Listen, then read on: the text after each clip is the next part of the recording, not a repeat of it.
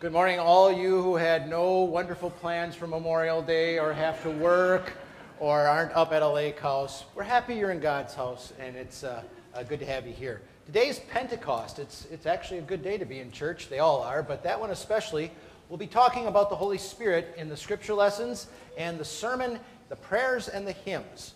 Our liturgy this morning is, is uh, we'll keep it simple on a holiday weekend with lighter attendance. So we're going to use morning devotion. It's on page 152. We modify it a bit with some hymns and, and the sacrament, uh, but it's pretty straightforward. We'll get started. I, I would, if I were you, I'd take my bulletin and use that as a bookmarker on page 152. And then I'd find the first hymn in the hymnal itself, which is hymn number 176. It's Martin Luther's Pentecost hymn uh, Come, Holy Ghost, God and Lord. So we'll sing that together. Um, say good morning, though, to some people around you, and we'll get started. God bless your worship.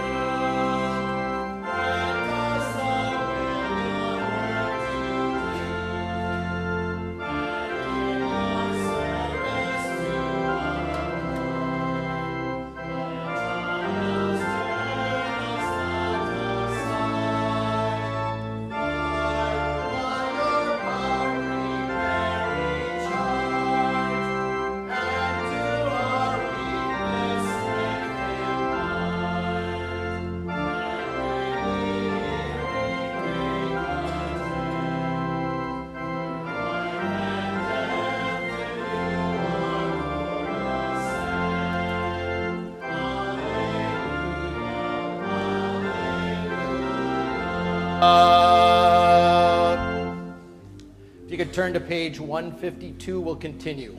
152. God our Father, each day is a gift of your grace. Your mercies are new every morning. Guide our steps by the light of your word. Shield us from harm and keep us from evil. Better than life is your love. Put joy in our hearts and praise on our lips. Alleluia. Holy Spirit, God and Lord, Come to us this joyful day with your sevenfold gift of grace. Rekindle in our hearts the holy fire of your love, that in a true and living faith we would declare the glory and praises of our Savior Jesus Christ, who lives and reigns with you and the Father as one God, now and forever. Amen.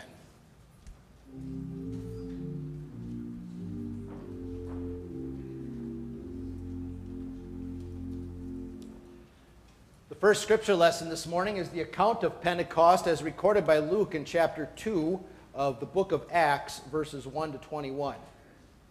We read When the day of Pentecost came, they were all together in one place. Suddenly, a sound like the blowing of a violent wind came from heaven and filled the whole house where they were sitting. They saw what seemed to be tongues of fire that separated and came to rest on each of them. All of them were filled with the Holy Spirit and began to speak in other languages as the Spirit enabled them. Now there were staying in Jerusalem God fearing Jews from every nation under heaven. When they heard this sound, a crowd came together in bewilderment because each one heard their own language being spoken. Utterly amazed, they asked, Are not all these who are speaking Galileans? Then how is it that each of us hears them in our native language? Parthians, Medes, and Elamites, residents of Mesopotamia, Judea and Cappadocia, Pontus and Asia, Phrygia and Pamphylia, Egypt and the parts of Libya near Cyrene, visitors from Rome, both Jews and converts to Judaism, Cretans and Arabs. We hear them declaring the wonders of God in our own tongues. Amazed and perplexed, they asked one another, What does this mean? Some, however, made fun of them and said, they have had too much wine. Then Peter stood up with the eleven, raised his voice, and addressed the crowd Fellow Jews, and all you who live in Jerusalem, let me explain this to you. Listen carefully to what I say. These people are not drunk, as you suppose. It's only nine in the morning. No, this is what was spoken by the prophet Joel. In the last days, God says, I will pour out my spirit on all people. Your sons and daughters will prophesy. Your young men will see visions. Your old men will dream dreams. Even on my servants, both men and women, I will pour out my spirit in those days, and they will prophesy. I will show wonders in the heavens above and signs on the earth below blood and fire and billows of smoke. The sun will be turned to darkness and the moon to blood before the coming of the great and glorious day of the Lord. And everyone who calls on the name of the Lord will be saved. This is God's Word.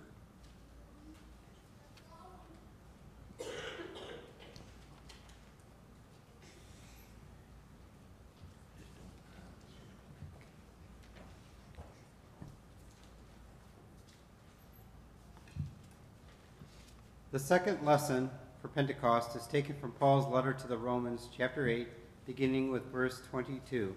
We read, we know that the whole creation has been groaning as in the pains of childbirth right up to the present time. Not only so, but we ourselves have who have the first fruits of the Spirit grown inwardly as we wait eagerly for our adoption to sonship, the redemption of our bodies. For in this hope we were saved. But hope that is seen is no hope at all. Who hopes for what they already have? But if we hope for what we do not yet have, we wait for it patiently. In the same way, the Spirit helps us in our weakness. We do not know what we ought to pray for, but the Spirit Himself intercedes us through the wordless groans. And He who searches our hearts knows the mind of the Spirit, because the Spirit intercedes for God's people in accordance with the will of God. This is the word of the Lord. Let's stand out of respect for the words of Jesus. The Holy Gospel for Pentecost is John chapter 15, verses 26 and 27, and then chapter 16, verse 4 through verse 15. These words will be the basis for the sermon this morning. We read, and Jesus is speaking here. When the advocate comes, whom I will send to you from the Father, the Spirit of truth who goes out from the Father, he will testify about me. And you also must testify, for you have been with me from the beginning. I did not tell you this from the beginning because I was with you. But now I am going to him who sent me. None of you asked me, Where are you going? Rather, you are filled with grief because I have said these things. But very truly, I tell you, it is for your good that I am going away. Unless I go away, the advocate will not come to you. But if I go, I will send him to you. When he comes, he will prove the world to be in the wrong about sin and righteousness and judgment. About sin, because people do not believe in me. About righteousness, because I am going to the Father, where you can see me no longer. And about judgment, because the prince of this world stands now condemned. I have much more to say to you, more than you can now bear. But when he, the Spirit of truth, comes, he will guide you into all truth. He will not speak on his own. He will speak only what he hears, and he will tell you what is yet to come. He will glorify me, because it is from me that he will receive what he will make known to you. All that belongs to the Father is mine. That is why I said the Spirit will receive from me what he will make known to you. This is the gospel of our Lord. You can be seated. The children can come to the chancel steps for a children's message.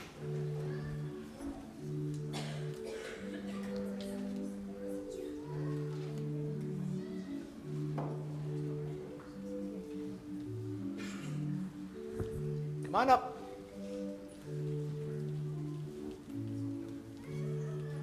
Good morning, everyone. Today we're talking about Pentecost, and part of Pentecost, you might have noticed, is this. There we go. Fire, right? Now you can see we got, here's real fire. But we also got some fire on my, my stole. We got some fire on the paraments up there. Uh, the reason is because in the story that we heard from Acts chapter 2, when the Holy Spirit came, there were two things that let people first know he was there. One was the sound of a wind, not a wind, but the sound of a wind. And then it said what looked like tongues of fire. Um, I don't know why they call that a tongue of fire, but they do. A flame of fire. And it floated above the heads of the people the Holy Spirit came on. And it didn't light their hair on fire. Uh, it didn't make them hot. What it did is it said the Holy Spirit's in you now, and it made them speak languages they hadn't learned. Like, who knows German? Yeah, they went Sprechen Sie Deutsch, and away they went. Uh, or Spanish, or all the different languages, you know, probably Greek and other languages that were back then. They could speak these languages, though they never studied them. Well, guess what they said? They didn't say, Can I have a donut? They didn't say, Where's the bathroom? They said, Jesus is your Savior. They were able to share the gospel with people in languages they could understand. Now, the Holy Spirit doesn't give you special magic abilities to speak foreign languages. He makes us study those things in school. But He does give us the ability to tell other people that Jesus is their Savior. He'll give us courage, He'll give us wisdom, He'll give us an understanding when to do it and how to do it. So let Him do that for you. Let Him lead you to be a good sharer of the faith with other people. All right? Amen. Let's pray. Dear Jesus, thank you for sending the Holy Spirit so that you would be with us always through the word and sacraments. Make us good sharers of your good news with other people by that Spirit's power. Amen. All right. There's no kids' church during the summer except on the third Sundays of the month, and today is not a third Sunday of the month. Uh, but there is nursery if you'd like to use the nursery. That's down the hall. You got to sign in your little ones with the uh, volunteers. Those of us remaining in here will sing the hymn of the day, which is number 182 Holy Spirit Ever Dwelling.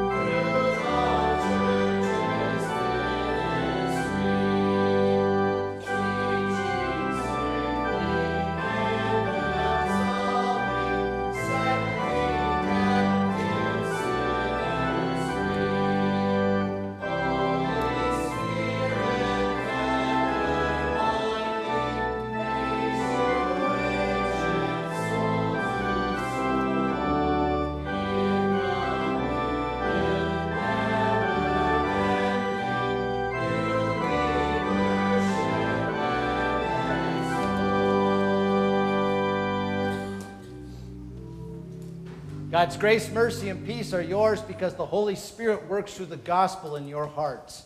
Amen. Text for the sermon this morning is the gospel reading from John's chapter, John chapters 11 and, and or 15 and 16. Let's start our talking about it with a prayer. O Lord, open my mouth and my lips would speak your truth. Open our ears to that truth. And through the truth, send the Holy Spirit into our hearts and lives that you would make Jesus present with us right here, right now. Amen. Dear friends in Christ, about a week or so ago, the Pew Research Center created quite a stir. I mentioned this last Sunday in the sermon with their release of the Changing American Religious Landscape study. The study interviewed tens of thousands of people in 2007 and tens of thousands of people in 2014. It asked what their religious affiliation was, and those who said that they were atheist, agnostic, or no affiliation, no faith, I should say.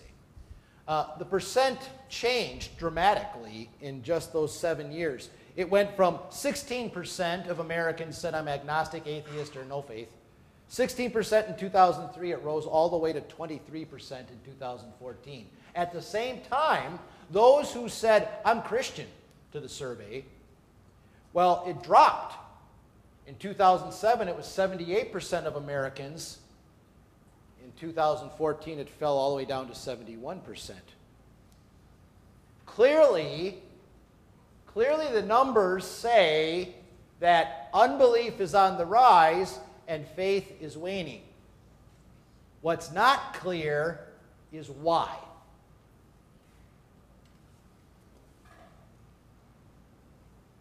There have been three classic reasons as to why. They are suffering, science, and other faiths suffering in the sense that someone says, I'm not going to believe in a God who allows such pain and suffering in the world. Science in the sense that someone says, well, you know, everything that happens and all that exists ultimately in the end can be reduced to a series of mathematical formulae. And other faiths in the sense of someone who recognizes that there's religions across the world and throughout time, even though they're all different, they deduce from this that then God is a cultural construct. In other words, people made it up. And the fact that there's so many different gods, so many different religions, is proof. I'm sure that you've heard that these are just tremendous obstacles for people believing, suffering science, and the other faiths in the world. And yet, in my experience, and I bet if you think about it, in yours too, they're not nearly as difficult of obstacles to overcome as they're cracked up to be.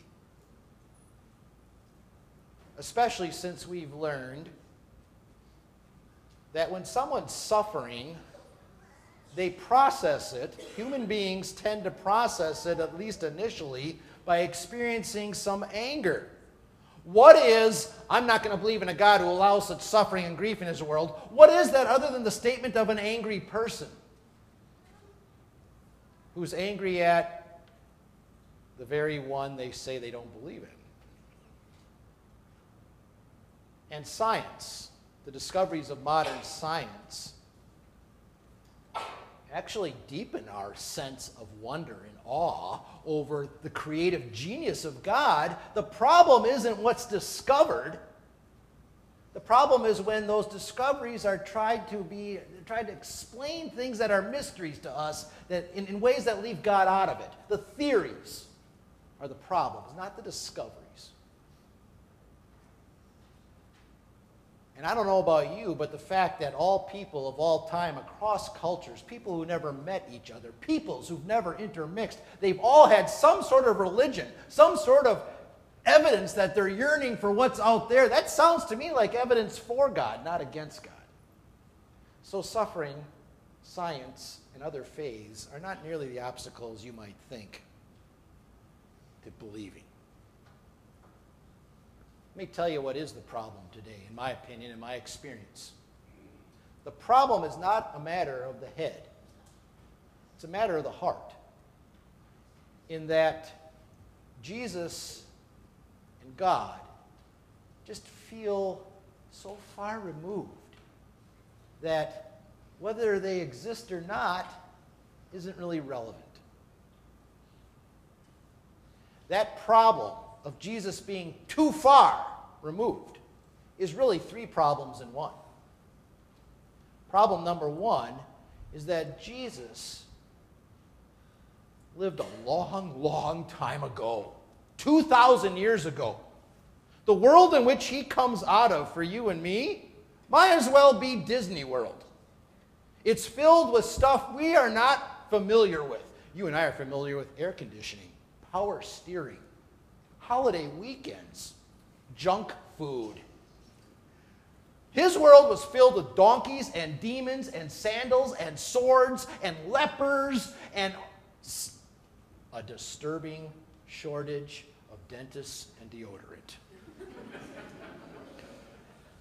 we can't relate. It might as well be Disney World, like I said to us. And like I said, since that was so long ago for most people, it's not a question of whether he existed back then or not. It's a question of whether it has any relevance to me now. And most, well, I shouldn't say most, a lot of people are starting to say, no, it doesn't. The other problem contained in Jesus' distance is that he really is far away from us. I've never been there, but I'm told by people who have gone that the most moving part of any tour of the Holy Land, of Israel, is the Sea of Galilee area. Because the landscape is relatively unchanged. And it's easy there, much easier than standing in downtown Jerusalem with neon signs and traffic, or, or an urban core like Bethlehem. Much easier to imagine around the Sea of Galilee Jesus walking down the beach because people still do it. Or Jesus walking on the water because you can just picture it in your eye, or crowds of people on the grassy slopes leading down to its shore, and Jesus in the middle teaching and preaching and feeding them. It's easy to imagine, and it's moving to be where Jesus was. And yet, people who've been there tell me that even though you're there where Jesus was, and you have that sense up there in northern Israel, he still feels far away. There's actually a phenomenon, some like depression that hits people who go on religious pilgrimages to, to Israel because it underscores how far away he is. The disciples, what did we look at last week? The disciples saw him go up to heaven. You don't have to be a disciple or a pilgrim to the Holy Land to get a sense that, you know what, there's something more than a lack of frequent flyer miles that separates him from me. He's so far away.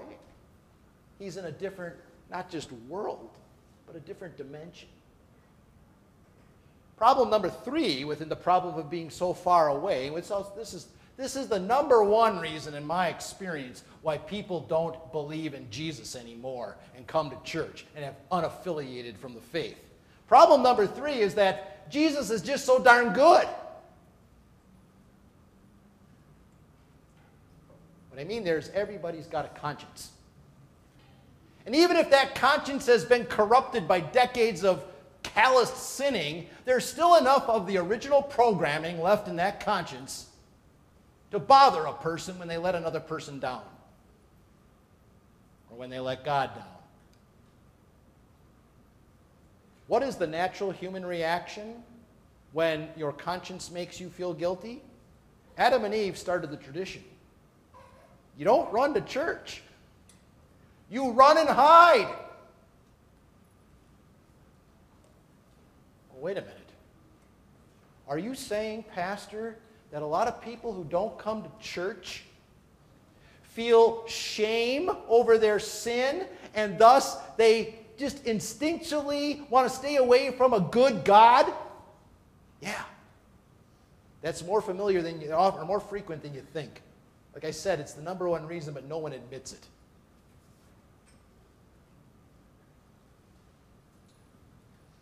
That's the problem of why more and more people are disavowing their connection to Jesus. But enough of the problem. Today is Pentecost, a happy day, a day in which the whole the Christian church takes its eyes off of Jesus for just a half a second and says, "We believe in the Holy Spirit."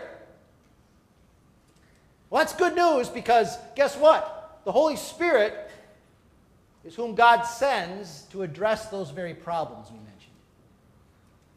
And he does it in a way that can be summarized in three words, three little words now, here, and us. Now, here, and us. Let me explain. While Jesus feels too long ago to be relevant, it's the Holy Spirit's job to make him present in the now.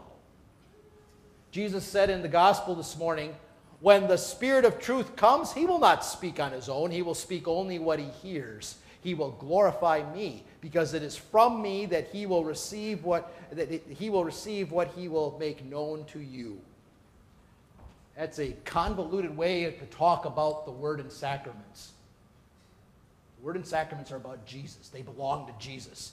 He says, Holy Spirit, you go work through those things. So the words of the gospel that you've heard today, the Holy Spirit fills them with Jesus' presence and his power to forgive you and to save you and to love you and to strengthen you. That's in the words of the gospel because the Holy Spirit comes through those words, giving you what's Jesus, making it yours now. Last week we had three baptisms. What is that? That's where the Holy Spirit comes through a sacrament of Jesus. And he takes, he takes the children even even children. And he makes them part of the body of Christ. He makes Christ present now. Holy Spirit makes the real body and blood of Jesus present in the sacrament, in with and under the bread and wine. That's what the Holy Spirit does. The Holy Spirit, the Holy Spirit translates your prayers about things that are going on in your life now, not about donkeys and demons and leprosy. But things that are happening now, and you pray to God, He translates them to God for you. The Holy Spirit is the one that gives you, at a moment's notice, the words to witness Jesus to somebody else who asks about him. The Holy Spirit makes Jesus present in your life now and thus relevant. Number two, while Jesus feels too far away, it's the Holy Spirit's job to make Jesus present here. Again, in today's gospel, Jesus said, When he comes, he will prove the world to be in the wrong about sin and righteousness and judgment. Now, we have to admit that most people, including you and me, are okay at times with Jesus' far awayness. In that, if he's far away, then I have the option of taking or leaving him at any moment. I have the option of having my cake and eat it too. I have the option of sitting on the fence. I have the option of selectively applying what he says to my life. But when the Holy Spirit comes and takes Jesus out of Bible world and puts him in the middle of your life and in your heart through word and sacrament, well, now you got to choose. You going to follow me or not? You going to repent of that sin or are you going to try to excuse it? Are you going to wallow in the guilt or rejoice in your forgiveness? Are you going to live like a Christian or are you going to live like somebody who's in the world and doesn't care? The Holy Spirit uses the Word to put Jesus in the middle of everything that is happening to us. Put them in the middle of everything that's happening around us and in us. The Holy Spirit uses the gospel to knock. This is he's doing this all he's doing it right now. He's pushing off the throne of your heart, your sinful nature, and he's putting Christ on that throne. Not only of your heart, but he wants to be in control of your mind and your soul and your body and your strength and all that you are. That's the Holy Spirit's job to put Jesus in the middle of your life right now, right here. It's also his job to make us like him.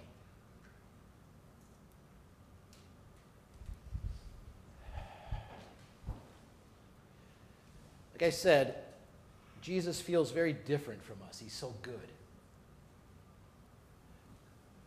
But God sends the Holy Spirit so that we could believe in him.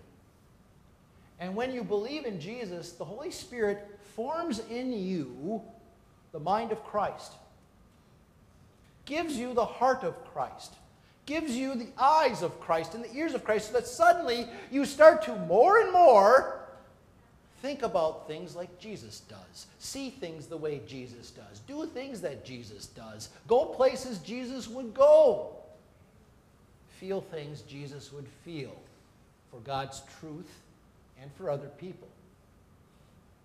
The Holy Spirit is the one that gives gifts, it says in other parts of the Bible. Like he gives the gift of patience. With that would maybe you've noticed this in your life, where in a situation where otherwise you would be impatient and flying off the handle, for some reason you have patience.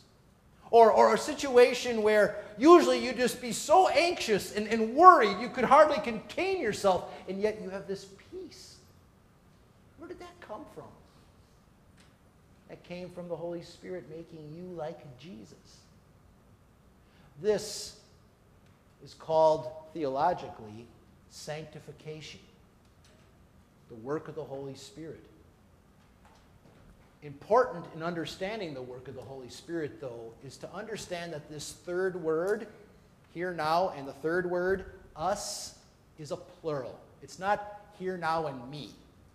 It's here now and us. Just like in the reading, Jesus used the word you 17 times, and every one of those times was a plural, as in you all, as in the whole church. What that means, this is important for understanding these gifts and sanctification. What that means is that Jesus, through the Holy Spirit, is not trying to make you as an individual like Jesus. He's trying to make us all together like Jesus when we're together. Oh, is that why when, when, when you talk, Pastor, about patience, and I'm thinking, I'm not patient at all. And when you talk about peace, you think, I'm sitting here thinking, well, maybe everybody else is at peace, but I'm so anxious, I'm about ready to jump out of my skin. Yeah, that's why, because guess what? The Bible says each and every Christian gets gifts from God individually, but they're not given privately for your personal use and secret possession. They're given across the church, shared with everybody, and no one person has them all. So if God is asking you to go through something or do something for th- and it's going to require things that you don't have, guess what? Somebody here does. And it's their call from God to share that with you, and vice versa, what you've got with them. It's when we're together. We are the, what is the call in Scripture? The body of Christ. There's a whole section of 1 Corinthians about that. It's not me and Jesus, it's us and Jesus. It's us being made to be the mind and body of Christ when we're together. That's why it's important to be together. If you serve on a church committee, that's my life. I'm around a lot of committees. You see it all the time. Let's take, take our building thing here, for instance. I could, use, I could use any committee. I could use education. But so you got some people on the building committee saying, oh, they have a heart, they have a heart for reaching more and more people, a gift from God. And they're saying, Put up a big neon billboard. Put up, you know, build this, build that. Come on, God. And then you got other people who are like so full of faith, you know, the money's just going to like fall out of heaven in bags. Come on, let's go. We got to believe. Then you got other people who have given the gift of God. The gift of God that says, hey, he's good to us and we better be good stewards of what he give us. So how are we going to pay for this? Let's, let's, let's line this up and make sure we're doing this right. And all that works together. No one of those persons is Jesus. But when all those gifts come together, you'd be amazed at what comes out at the other end. It's not a miracle, it's the work of the Holy Spirit making us like Jesus. The day of Pentecost begins it begins with everything that's wrong about God. Jesus had just left only 10 days ago, and already he's too long gone, too far away. And his disciples are all too human and too up against it in a big, bad, scary world out to get him. But by the end of the day, by the end of that same day, 3,000 people now believe in Jesus, and they're led fearlessly by these 12 disciples. The difference solely was the coming of the Holy Spirit. Does the church today have problems? Yes, it does. The world in which it works, at least in our country, is becoming increasingly secular. I guess you could say that's a problem. The membership of the church is becoming increasingly distracted with other things. We have so many choices that our parents and grandparents didn't have. We've got more money, we've got more options. It shows in church attendance across the board, all denominations. Is the church challenged by a hostile world and evil forces that would like to eradicate it? You bet it is. Does the church struggle with satanic heresies that get taught within it from time to time that are from Satan's mouth, not Jesus' lips? Yes, it does. That does happen. But the good news is that the Holy Spirit still comes through word and sacrament to do those three amazing things. It makes Jesus present here. It makes Jesus present now. It makes Jesus present in us. God's kingdom will come no matter what. God's will will be done no matter what especially when you and me, his people, we allow ourselves to be shaped by these astonishing things the Holy Spirit does through word and sacrament. Let's remember those three little words going forward here, now, and us, so that the Holy Spirit can have us out and about our Father's business in Christ's name as well. May the peace of Christ, which surpasses all understanding, keep our hearts and minds in Christ Jesus. Amen. This time we'll give our gifts and offerings, then we'll continue with prayer and the sacrament.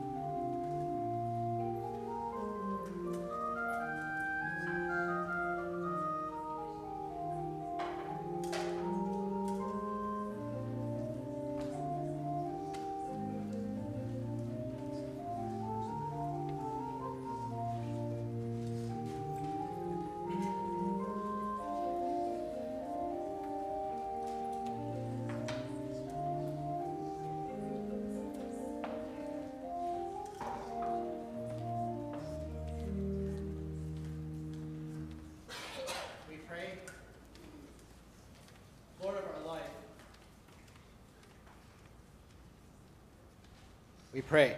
There we go. Lord of our life, as your Son Jesus ascended into heaven, he told his disciples to wait in Jerusalem until they had received power from on high.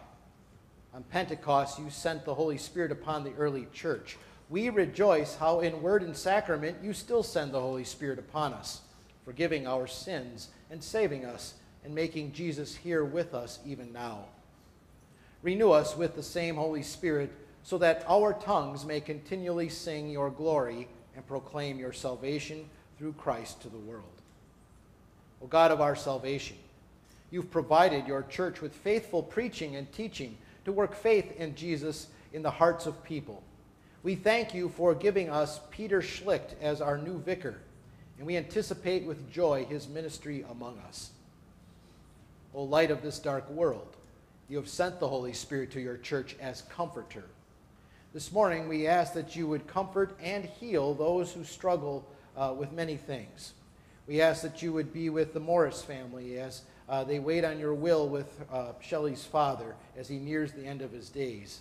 We ask that you would be with uh, Steve Gendritz and continue to work healing in him post surgery. And our sister Kim Harriet, we thank you for the progress she has made after her surgery. Continue to be with her and work strength and healing in her. We also ask that you would be with Kellen Ruppel as he faces tonsil surgery this week, and with Kathy Chafee as she is recovering uh, from a stem cell transplant in Ann Arbor. Be with these, your people, and improve their health and keep their faith strong in your goodness, your strength, and your power. O advocate and defender, whose light never wanes, on the last day you will raise all the dead and give unto those who believe in Jesus eternal life. We remember with thanksgiving those who have gone before us and are at rest. This morning we uh, ask that your comfort would be with the Martin family as uh, they laid Tom's mother to rest this last week, and with the McGillicuddy family as you called Janine's mother, Virginia, out of this life to your side this past week. Comfort those who mourn and bring them all and us to the light that knows no darkness. Lord of the nations, tomorrow we remember those members of our military who died defending our nation. We are humbled by and most grateful for their devotion. Make us worthy citizens of their sacrifice. Please hold all our active duty servicemen and women in your strong arms. Cover them with your sheltering grace and your presence as they stand in the gap for our protection. We also remember the families of our troops on deployment. We ask for your unique blessings to fill their homes, and we pray your peace, provision, and strength would fill their lives. Finally, Lord, in the spirit of unity and peace, we approach your table of grace to receive the body and blood of our Lord Jesus. Make us one in heart, mind, and confession. Fill us with the forgiveness won by Jesus on the cross. Strengthen us with this holy meal that we may continue to serve you faithfully. Our Lord Jesus Christ, on the night he was betrayed, took bread. And when he had given thanks, he broke it and gave it to his disciples, saying, Take and eat. This is my body, which is given for you. Do this in remembrance of me. Then after supper, he took the cup, gave thanks, and gave it to them, saying, Drink from it, all of you. This cup is the new covenant in my blood, which is poured out for you for the forgiveness of sins. Do this whenever you drink it in remembrance of me. The peace of the Lord be with you always. Amen. I invite those assisting with distribution to come forward, as well as the ushers. You should follow the ushers' directions. God bless your communion.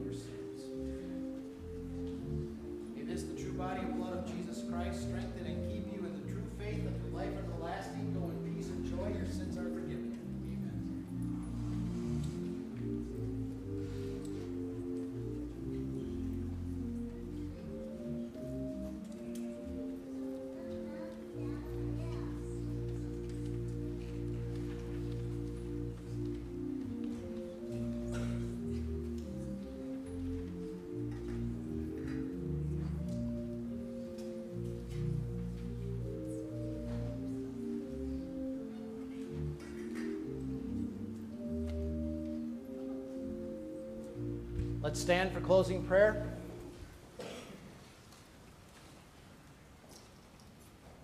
Thank you, Lord Jesus Christ, for nourishing us in this sacrament with your body and blood. You have given us forgiveness, life, and salvation. Let us always remain in you as branches remain in the vine. Send us out now in the power of your Spirit to live and work to your praise and glory. Amen. Brothers and sisters, go in peace, live in harmony with one another, serve the Lord with gladness. The Lord bless you and keep you. The Lord make his face shine on you and be gracious to you. The Lord look on you with favor and give you peace. Amen. We'll stay standing to sing the final hymn this morning. It's in your bulletin. It's called There is a Redeemer.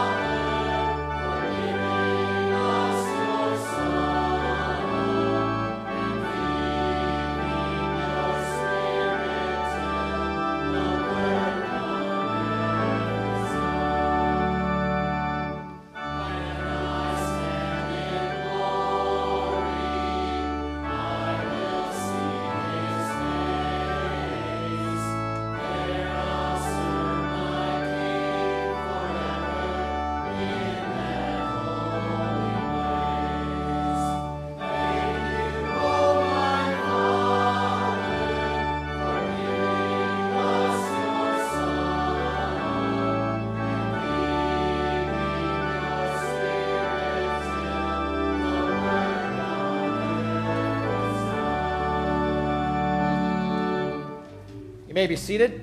Thank you for coming out to worship and making that part of your Memorial Day weekends. Um, lots of announcements in the bulletin. Take a look at those. Uh, the one that um, maybe is of most interest is our new vicar. Uh, vicars, if you don't know, are interns, I guess you could say. After uh, 10 years of school, they take a year here or wherever they're serving for a year of uh, practice. And I think Peter would be our eighth or ninth vicar. I, I guess I lose track. Uh, but um, he'll spend a year with us and uh, talk to them on the phone this week. Uh, wonderful first impression. Uh, he's a pastor's son, uh, so he kind of knows what side of the bread the butter already goes on. I think we've had, he'll be our second one that's a pastor's son. Um, also, God helps those who can't help themselves. That would be us. Um, we, uh, as you know, in March approved creating a new position on our staff, that of music minister. Uh, it was a one year position uh, with the option to decide what we'd do thereafter. The elders then met after the approval and said, Where can we find someone to fill this? And, and went to the schools that graduate such people in our denomination and discovered there wasn't anybody uh, to, to fill that position this spring.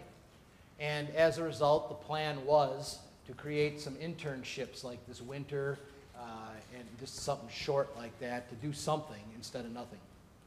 Well, uh, a few weeks ago, our district president called and said, Hey, um, looking through the, all the profiles of people that are going to be assigned, I know you want an associate pastor, but uh, I know you also would take a vicar as opposed to nobody. Well, guess what I found? Someone whose wife is serving as a music minister and a teacher. Uh, so uh, we will be calling uh, Peter's uh, fiance Rachel, in probably at, if not at our quarterly meeting at the end of June, maybe a little sooner, uh, but maybe we'll just do it then, uh, to fill that position for us in some way during the year that she's obviously here with her then husband. so they, they expect to be here. They, well, you can write it down in the back of your mind. August 23rd, that Sunday is the installation. Uh, they'll be coming the week before. Uh, you can see they're getting married at the end of July. They'll probably, they may be over here if they can swing it here in June, the next few weeks, to kind of get the lay of the land, where to look for apartments and things like that. Uh, so we're very blessed uh, to have uh, a chance to get uh, a, a vicar who, like I said, made terrific first impressions. He plays in a band. He plays in a band, some like, you know, Christian band that does VBSs, and so much cooler than I am. So I mean, I mean, I don't know if he golfs, which is probably a good thing, you know. So we'll get something done. Uh, but um, I told you last week God was going to give us who who He wanted us to have, better than our plans, and and He did. Uh, wonderful. So uh, we're, we're grateful for this, and we look forward to it. With that, let me get to the back door, shake your hands, enjoy your weekend. I hope you don't have to work too much if you're here in, in church because you have to work this weekend, but uh, thanks for coming.